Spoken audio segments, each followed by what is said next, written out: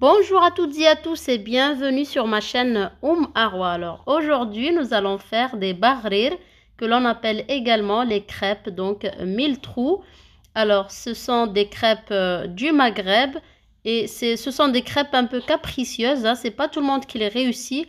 Donc euh, si vous faites partie des gens qui ne réussissent pas leur barrir, eh bien euh, essayez cette recette, c'est une c'est une recette inratable. Vraiment, euh, je vais vous donner les mesures à l'ancienne et au gramme.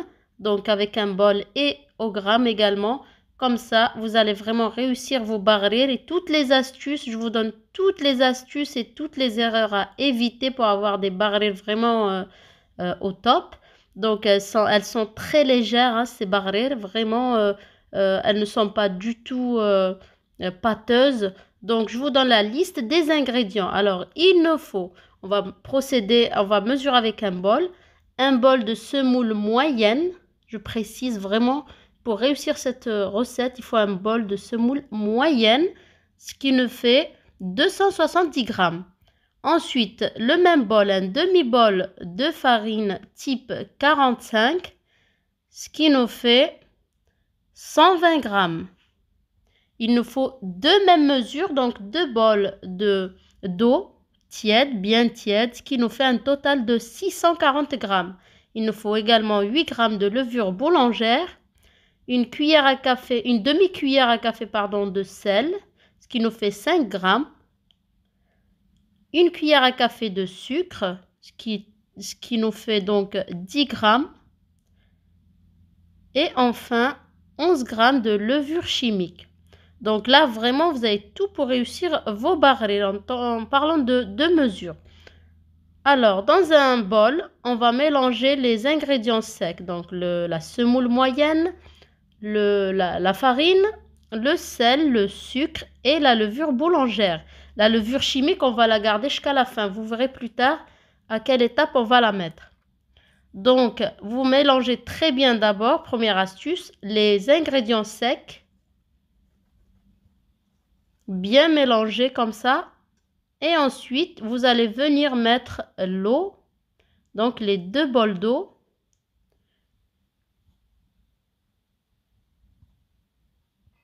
Si vous mesurez avec un bol, c'est pas nécessaire de prendre 5, 4 bols comme ça, comme moi. C'est vraiment pour vous montrer. Vous pouvez mesurer avec un seul bol et mettre au fur et à mesure dans votre bol. Donc, premier bol d'eau. Et deuxième bol d'eau, donc 640 g d'eau bien tiède. Pas trop non plus, sinon vous aurez des fils quand vous allez mixer votre barrière, votre pâte à barrière. Parce que là, une fois qu'on a bien mélangé les ingrédients, on va les mettre dans un mixeur. Mais un mixeur vraiment euh, assez puissant de préférence comme ça, vous n'allez pas avoir besoin de beaucoup de temps pour euh, mixer. Donc, on va transvaser dans le bol du blender et on va mixer une à deux minutes, pas plus. Et vous allez faire au début, vous arrêtez comme ça et reprendre. Comme ça, vous êtes sûr que tout se mélange. Voilà, comme vous voyez j'ai mixé en arrêtant une à deux fois. Donc après une minute et demie à peu près pour moi, vous allez déjà voir l'apparition de petites bulles. C'est à ce moment-là que, nous allons mettre les 11 grammes de levure chimique. Puis là vraiment j'accélère pas la vidéo, hein. c'est vraiment 20 secondes, pas plus, que je vais remixer. Parce que si vous mixez un peu trop, vous allez tuer l'effet de la levure chimique, ce serait dommage. C'est pour ça qu'on la met à la fin. Voilà, donc après les 20 secondes, on va arrêter le mixeur. Puis, vous allez transvaser pardon, euh, dans le bol que j'ai lavé et séché le même bol ou un autre bol d'ailleurs. Et vous allez mettre du film alimentaire vous laissez euh, reposer 10 à 15 minutes grand maximum, pas plus. Si votre pâte lève trop, vous aurez des gros trous euh, dans vos barrières et non pas des trous, euh, des trous, comment dire, réguliers. Donc après 12 minutes pour ma part, je vais mettre une poêle sur feu moyen. Donc euh, pour la cuisson aussi, il, y a des astuces. Donc feu moyen, juste avant de mettre mon barrière, on va le mélanger un tout petit peu. Si jamais vous avez oublié vos barrettes plus de 20-25 minutes, vous remettez au mixeur, vous donnez un coup de mixeur et là, vous aurez euh, perdu déjà un peu euh, de, levage. Donc là, j'ai transvasé pour euh, faciliter la cuisson dans un, dans un verre comme ça avec un bec. Et là, vous allez mettre de la pâte à barrer sur votre poêle qui c'est une poêle anti-adhésif tout simplement. Il n'y a pas besoin de poêle spécial barré normalement.